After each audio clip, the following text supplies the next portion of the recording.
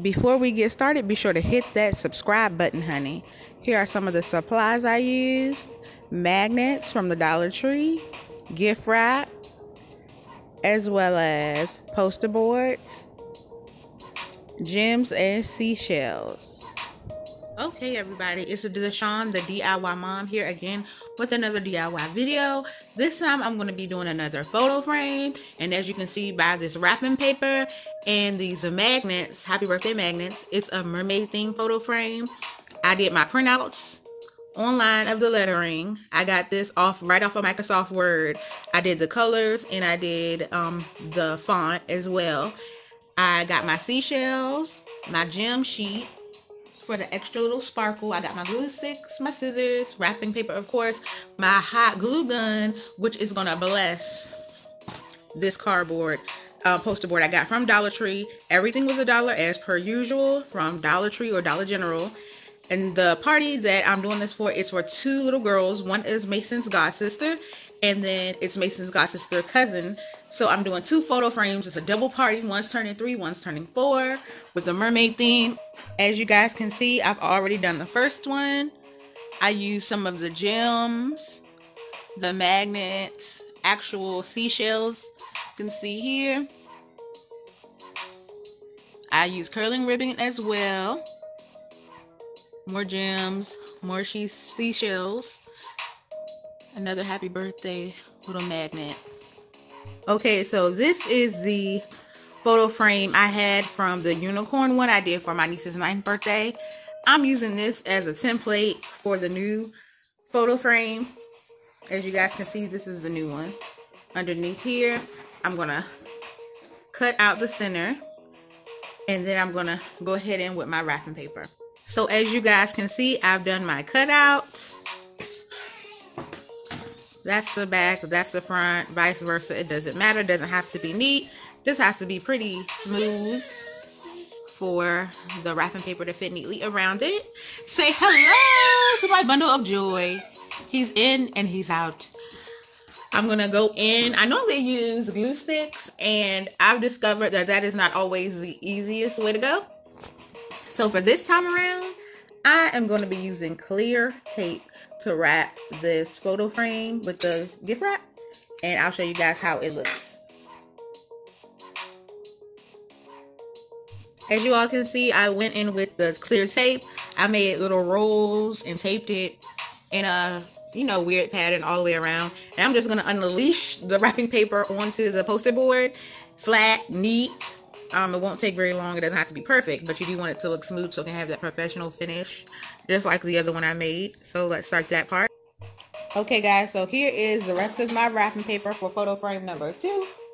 I've laid it out smoothly and what I'm going to do is leave um, two extra grid spaces. I hope I'm explaining it correctly.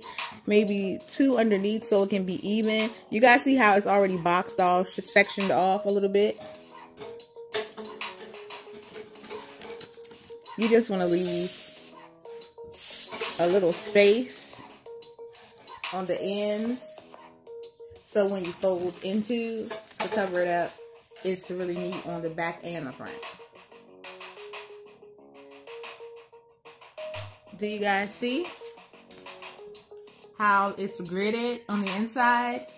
So what I'm going to do is go in just like I did with the outside where I left a couple boxes. I'm going to leave about two rows of boxes going across and the long way as well just so that when I fold it in it'll look neat. And like you guys can see this edge is completely cut down to two pieces. It's a little bit extra at the top and the bottom because those are a little bit thicker. And the same thing on that side. And this is what it looks like on the front. Smooth not bumpy not lumpy easy peasy. Anybody could do it. Okay guys, so I cut out the center, leaving two spaces each way around the internal square.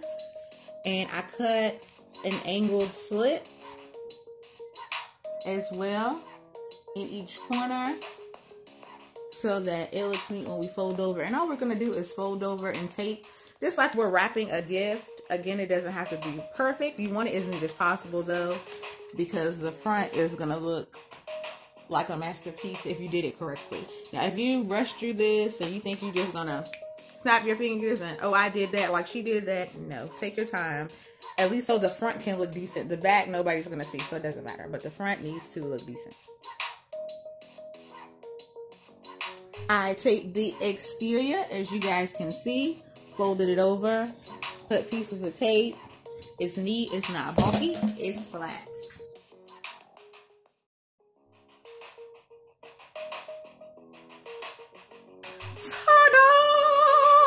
And there is our photo frame wrapped in mermaid wrapping paper from the Dollar Tree. $1 only. That's the front and that's the back. And as you can see, there is not much going on back there. Really neat, smooth, taped. And it doesn't matter because the photo frame has to look good in the front. That is the most important part. So now it's time to get decorating. I got my letters. I have to go get my curling ribbon. I got my actual seashells. I got my gems. And we are going to DIY this thing. We are going to decorate. So here I've set up my lettering so I know exactly how I want it to look going across the poster board. I got my letters neatly secured and I'm just going to go in with my glue stick, my handy dandy glue stick, and I'm going to glue the backs of these letters and stick them in the proper position. Okay guys, since I have now glue stuck my letters onto the poster board, you see how neat those are? They are not going anywhere. I got my hot glue gun warming up. I'm going to take my magnets that I bought from Dollar Tree. All these magnets were a dollar. I'm using them for the decor on the photo frame and I'm also using curling ribbon. And what I did for the first photo frame was basically curl the ribbon up with scissors and then tape it randomly to pieces of the magnets, like tape it to the back so it could be a decorative fixture on the photo frame. Um, I hope you guys see what I mean after it's done. I'm going to place the gems randomly onto the photo frame. The goal here is to do um, your own thing, make it your own, do what you want. I'm also going to use these seashells I got from Dollar General. The whole bag was a dollar. These gem stick um, sheets were a dollar, and they're like stickers. So you literally just peel them apart and they stick on their own. You don't need to hot glue them, use a glue stick or anything. Um, so I'm gonna go ahead and do this. I'm sorry that I can't like film myself, you guys going along with me, but you'll get the gist at the end of the video. Okay guys, so here is the finished results of my DIY mermaid photo frame. As you guys can see, I added actual seashells, the gold gems, curling ribbon, everything you need to make your poster board photo frame look great, all on a budget. You can see that sparkle there. I created the letters on Microsoft Word, so it's very, very easy and practical and I just freestyle with this. You can see the mermaid, all the shells, all the gold gems, more curling ribbon. I really hope you guys like this. This one is for Madison, and this one is for Symphony. And you can see I did them just a little different, but they're very much so the same. Still on a budget. Please let me know if you like it. I'm trying to reach a thousand subscribers so share if you care. If you know anybody interested in having a mermaid themed birthday party, please, please share and subscribe to my channel. Once I reach a thousand subs, I'm going to do a giveaway. Not sure what yet. I'm still thinking about it, but the closer I get to a thousand subs, the better.